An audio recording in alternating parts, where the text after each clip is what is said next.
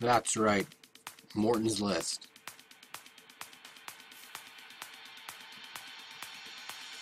Be doing a uh, brief explanation and demonstration of Morton's List here. Totally live on Twitch. Randomly selected for right now.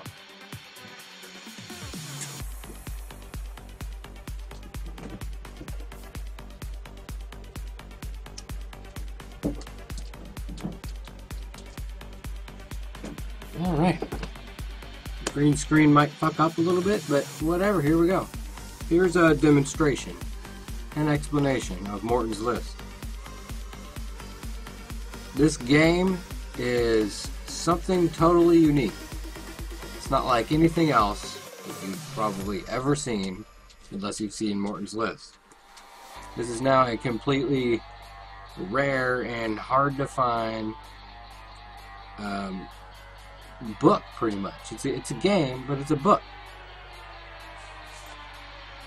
They, they've stopped selling it on Amazon. The only way that you can get a hold of it is if you know somebody who's got a copy of it. So, needless to say, this is a underground game. It's something that you actually do in real life to end your boredom. As you can see, I, am on the uh, the Morton's List website here.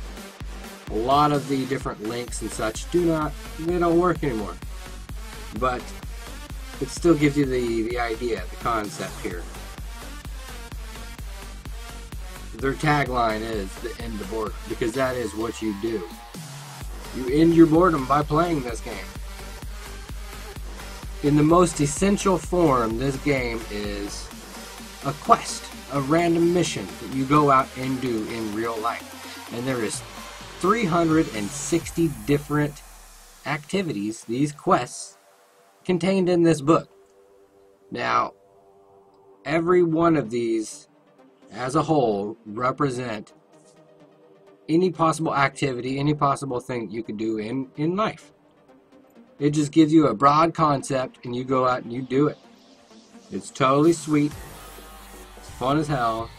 I haven't played it in years myself, but I used to play the shit out of it.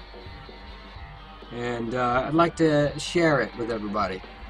You know, whether you're watching it live right now on Twitch, or maybe you're gonna watch a video later on down the road. I just uh, would like to encourage people to explore this game, at least, you know, try to learn more about it, figure it out here. But like I said, in the most essential form, it's a game that you complete by going out in real life and you do stuff. So there's 360 different missions in this book. And it's all broken down into different subsections, categories. And those categories contain 30 different missions. There's 13 different tables of 30 missions, adds up to 360 different quests. So basically, they're grouped in these categories. The first one being Solar Rise, it's stuff that you do in real life. The next one is Cosmic Law, and so it's all about things that have rules to them. And basically, you go out and you, you do this mission.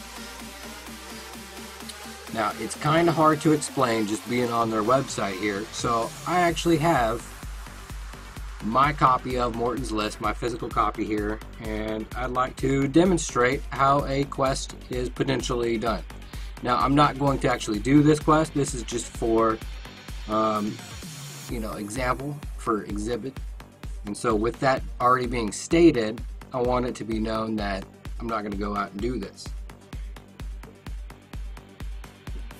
Basically what you're doing is you're starting out by agreeing to play.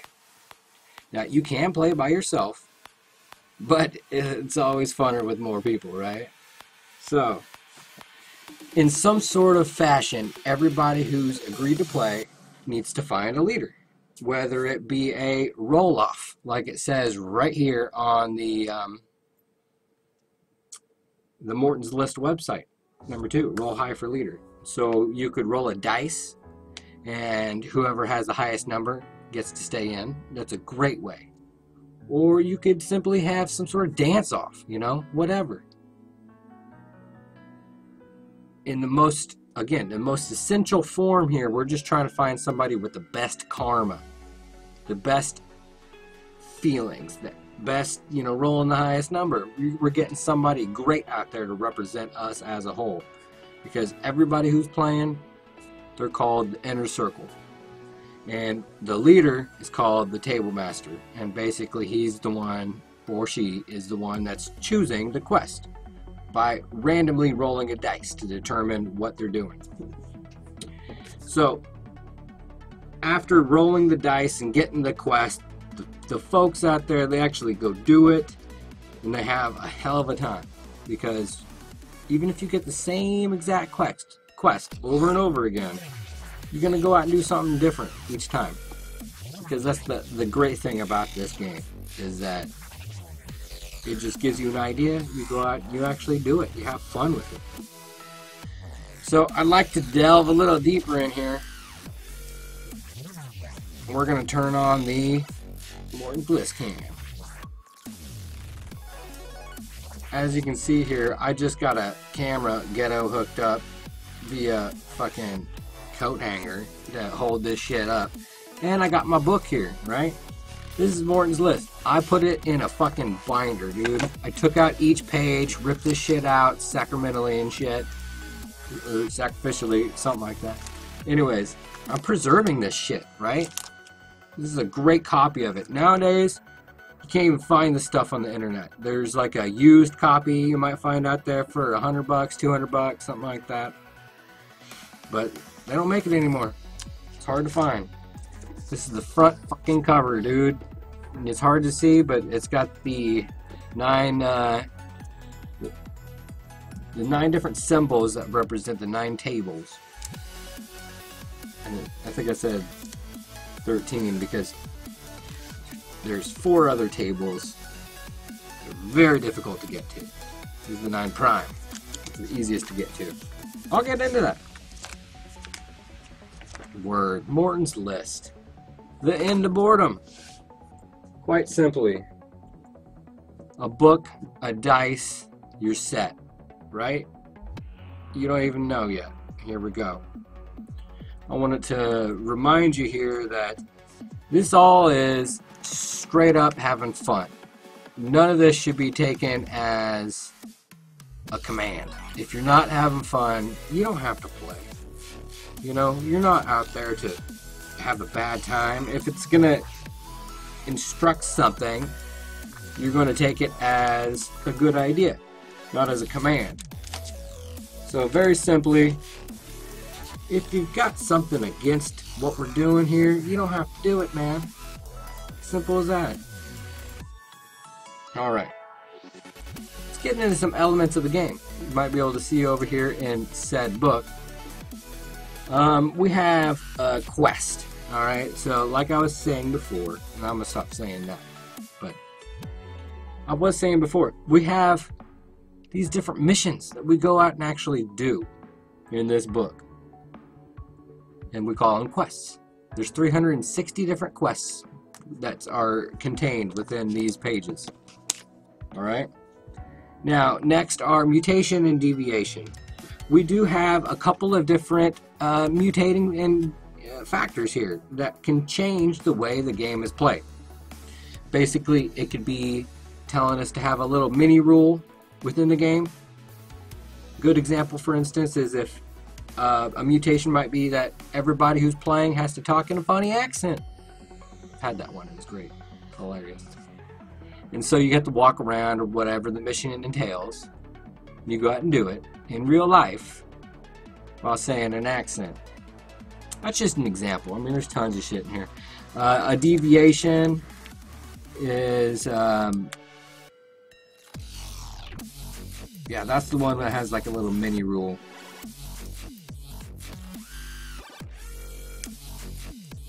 The mutation is that the kind of like having an extra rule to the the quest. A deviation is like basically you have a whole another objective. So a, a deviation would be having to complete a mission. Um, basically, there's ways to change the game up.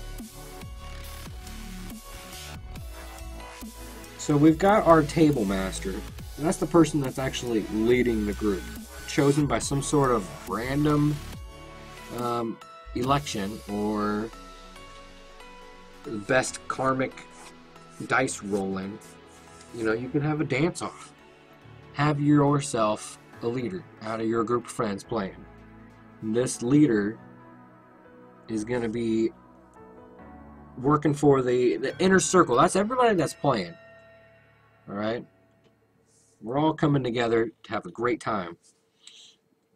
So, with said book, Morton's List, and this 30 sided dice called a Morton Boulder, we're going to have some fun here. All right? The game is all based on karma. All right? When you're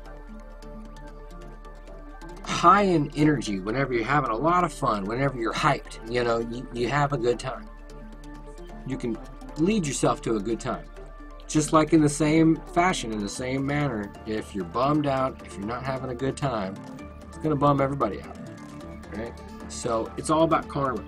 Whenever we choose whoever's randomly uh, going to lead the group here, based on their karma, you know? If you keep rolling fucking 30s on this, dog, hell yeah, we're gonna have you leave the group. If you keep winning in roll offs, you, you're rolling the highest numbers, man. We want to get that. High numbers are always great. You know, rolling a 13 is never a good thing. It's just how it is.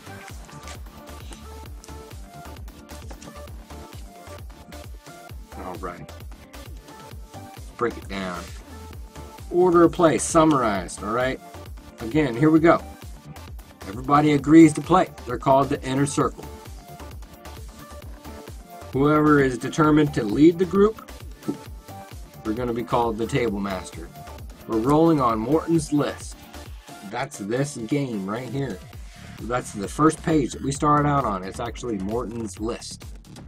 And uh, after we get some sort of mission, we're going to talk about it. It's called the Winds of Change. We're going to determine exactly how it's going to be accomplished, by what means, what we're going to do. About having fun. Alright? We go out and do the actual quest. And then after we've devoted at least one hour of some solid effort, we're going to call end, end time.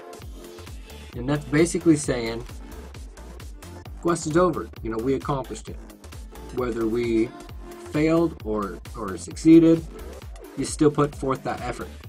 Because you can't go in here and say, oh yeah, let's just go ahead and do this one real quick. Knock this quest out. It's super easy, five minutes, and then go do something else. It's not the way this game rolls. If you try to manipulate the game, you don't have good karma, you're not going to have fun. Alright. Let's get into uh, an example of Morton's list now.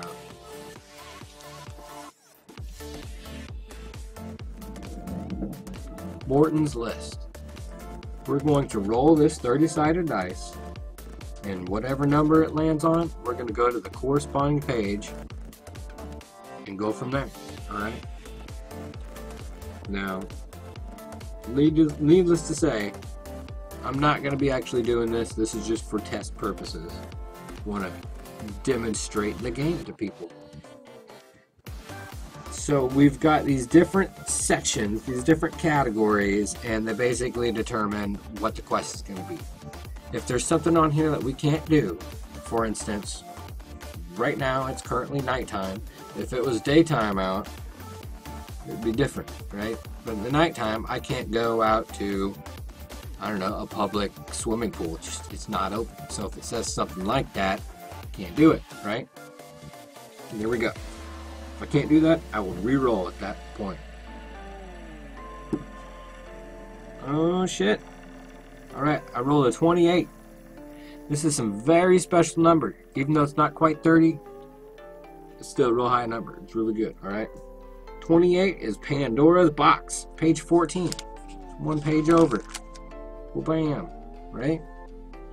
So with Pandora's Box, it, let me just uh, describe it here, alright? It says, The Pandora's Box of Greek legend unleashed a plague, uh, plague, a plague of horrors, including disease, famine, and he who cannot be named. The Morton's List version of Pandora's Box unleashes a multitude of, multitude of unexpected and exciting possibilities, not bad stuff. It combines the effects of rolling mutations, deviations, and gateway. First, the table master rolls on mutations, then on deviations. And then the table master goes to the echo list and rolls three separate quests to be chose from. This is great for explaining how Morton's List is going to be played.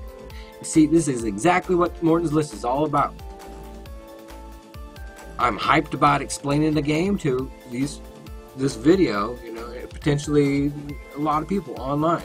If I get this video out and show people how fun Morton's List is. And I've already got the spirit of fucking karma right here. Morton's List saying, hell yeah, show people Pandora's box. Like, you know, have them whip it out. Jesus Christ. Alright. So we're going to first go to mutations on page 239 and then deviations on 245. And we're going to show you exactly how crazy this game could be. So on page 239, we have the mutations mother effing table. Again, it has 30 different results corresponding with this 30 sided dice. Whatever number I roll on here is the mutation I go to. So uh, just a quick note, mutation is rolled and description is read. Um, and then the table master continues rolling on for the quest. So again, this is not the quest. This is just something to hype up the quest, to change it a little bit. Um, so in that note, here we go. All right, I rolled a 14. That's pretty goddamn close to 13, man. You gotta be careful. All right, rolling a 14, alter reality. Let's go over here to page 242. Oh shit, this is awesome. Okay, um, alter reality. The cat has left the bag and is headed straight for the fan. The inner circle will soon be experiencing a twisted version of the reality they once knew. Here, each group member rolls the Morton boulder and consults the following table of 30 options to determine their individual reality warping effect. This is the shit, especially when you have a lot of different people because everybody's going to have some sort of different effect. And, um, you know, let me just kind of read off a couple of uh, different ones here. Number two is move very quickly. So if you're walking around, some somebody has to just kind of like jitter around and shit, you know. Um, randomly vary the volume of speaking. It's number nine. Number 15, never sit down. Number 18, don't use fingers for anything.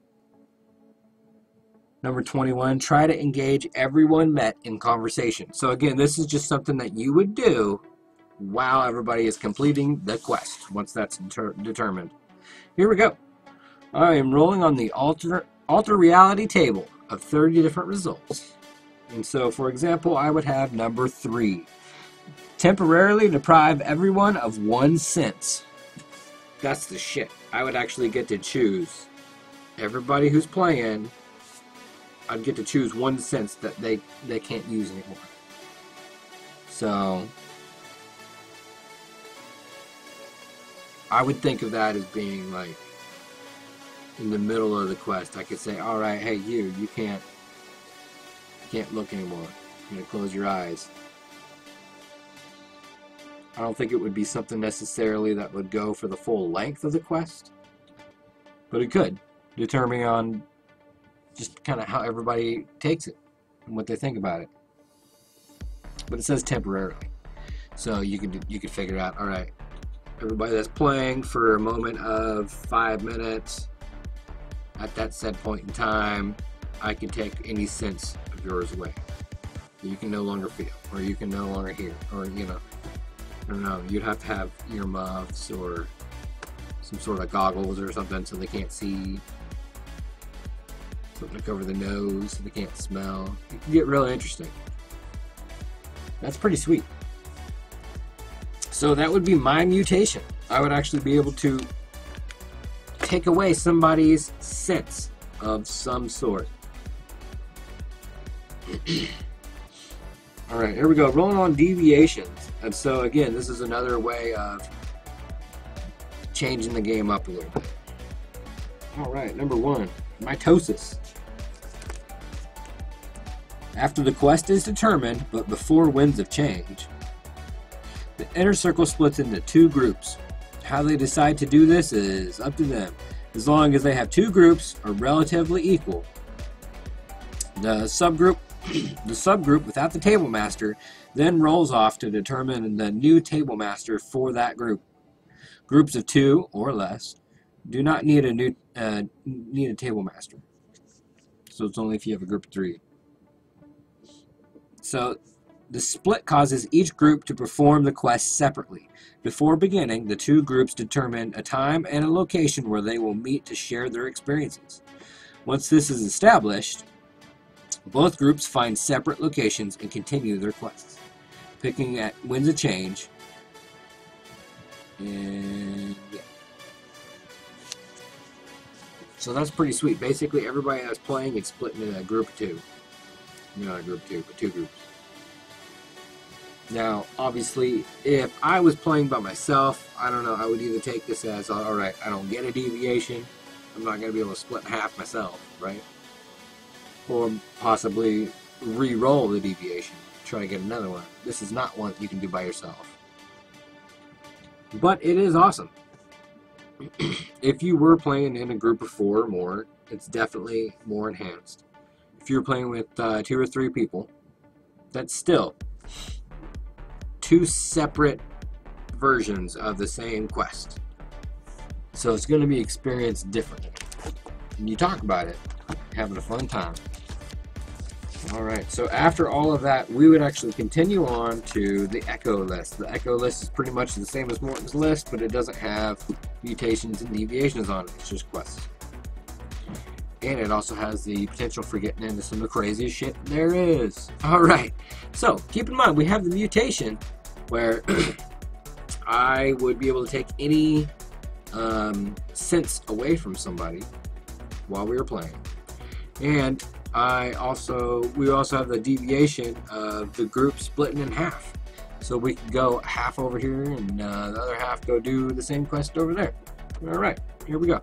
Now I'm going to roll three separate quests, and we're going to determine what exactly would be the best one to do. It's great. We actually get the choice of three separate quests. This hardly ever happens. Ooh, number one, Solar Rise. So these are quests that largely do with daytime.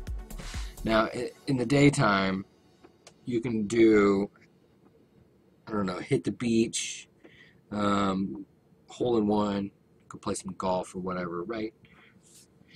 It's nighttime here, so I'm not really going to be able to do any of these. But for the sake of Gateway, the sake of rolling three separate quests, this is a great demonstration of something you could actually be doing in real life. All right, rolling on Solar Rise. I got number two, community recreation. So with the quest here, we have kind of an introductory, given a colorful idea of what community recreation could be we have a nutshell sentence that breaks it down into one sentence of what we really actually got to go out and do. And it also does have some other ideas in here, some other uh, text here that helps out with the winds of change process. The winds of change process, of course, is determining exactly what you're doing. Now, community recreation, in the nutshell sentence here, it says it brings the inner circle to a recreation or community center. So, Again, inner circle is everybody that's playing. So basically, we would go out into a rec center, go out to some sort of community center. You can still do that at nighttime, shit. Go to a park at the nighttime, man. Fucking yeah. Go shoot some hoops at midnight. Why not? Fuck Solar Rise. You can do it in the day in the nighttime. You don't have to be day, right? you got to be creative with it. Now, I think you know a rec center that is kind of more specific to something indoor. It has to be open. So maybe that's not possible at night. But if you can think about it, you can agree to it, and you can do it. You're having fun. All right, here's Echo List. Again, we're rolling a second quest for demonstration. Ooh, shit. 29. Window of Dreams. Right here on page 16.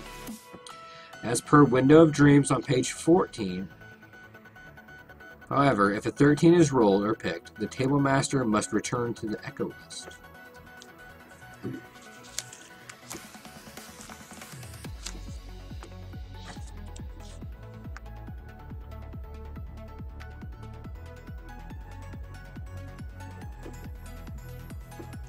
All right, so Window of Dreams is essentially you get to choose any of the nine prime tables to choose to roll on with an automatic dimension window or uh, window. Okay, so I'm going to be able to choose any one of these. It's nighttime. We just saw Solar Rise. That was daytime quest. So let's go to Nightscape. Now these are night quests, all right? Page 217. Yeah, so, okay. I rolled a 29. That gave me the ability to choose whatever table I want to roll on. So I'm choosing the, the night one. We're going to see what a nighttime quest would look like. Just kind of want to clarify that. Alright, so here we are on Nightscape. So Nightscape contains 30 different quests of stuff that you would generally do at night. As opposed to Solar Rise, which we were on all daytime shit. Here we go. Rolling on Nightscape number two. Come on over. Alright. So come on over, beckons the inner circle to contact known would-be romantic interests, invite them to uh, invite them over to socialize. So I mean, that's pretty straightforward. You got to get some sort of hookup going on. I would even go as far as saying that, you know, if you don't have anybody in mind, this would potentially be the calling to go try to find somebody. You know what I'm saying?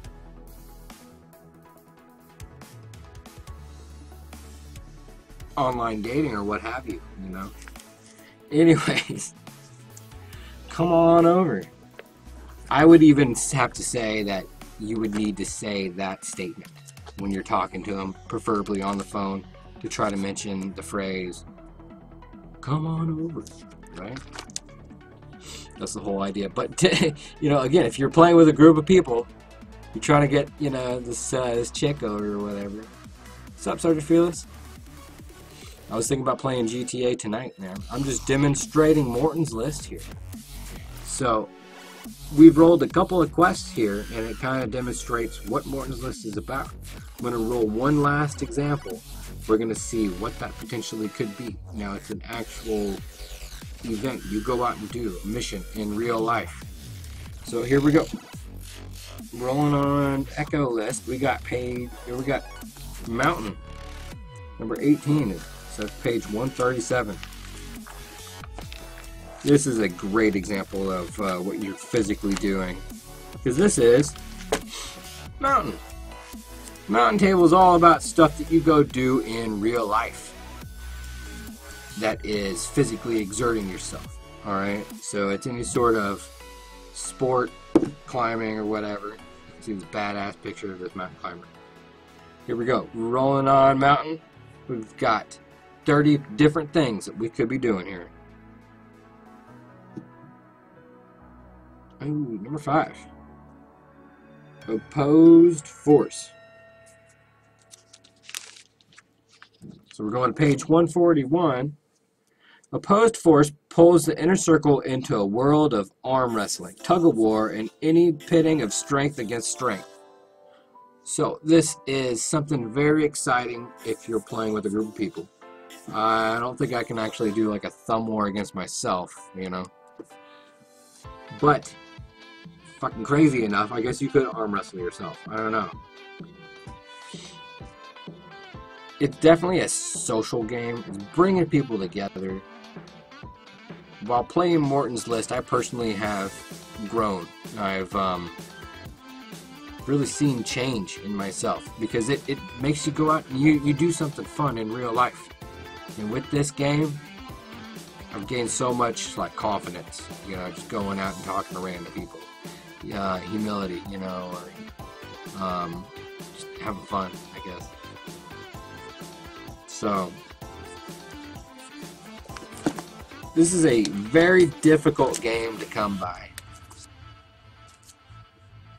They don't sell it anymore. It's rare. But I could be potentially sharing this game with people online. You know, we could get a online group group going on. You know what I'm saying? We call them a uh, inner circle. A group of people who play Morton's List to enhance their own lives for the better and have fun. Don't get me wrong, I love video games. Twitch is amazing. But this is some life-changing events.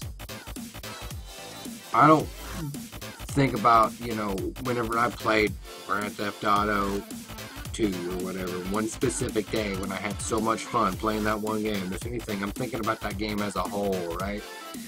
How much fun I had with that game altogether. With with Morton's List, you break it down to each individual memory, each individual quest. We're having fun here. This is great memories.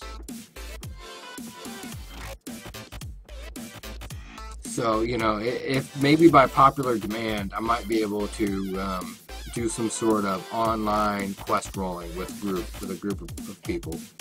But it's gonna have to be really sincere because this game demands, you know, you, your attention. If you're not paying attention, you're not have, trying to have fun. You're not gonna have fun. And um, you know, again, it's all about karma. We're out there having fun. So I don't know, people. Hit me up. JumpFresh on Twitch. Let's bring Morton's List back, man. It's not around very much anymore. This is their website. Like, shit don't even work. They used to have an online version where you could play this game. Now it goes to some other shit. Like, it's not even, it's not even hooked up right. Some spam and shit. They haven't they haven't made any sort of comment on the the um, the forum here in a couple years. Years, man. You go to buy the game on Amazon.com, they don't even sell it anymore. They stopped selling it. You can find a used copy on there, but right now it's saying that it's selling for 150 bucks. Uh, when originally this was like $30 game. It's fucking epic. Morton's List, man. Let's bring it back. If you're interested, hit me up. Let's roll a quest. JumpFresh on Twitch. I'm on YouTube.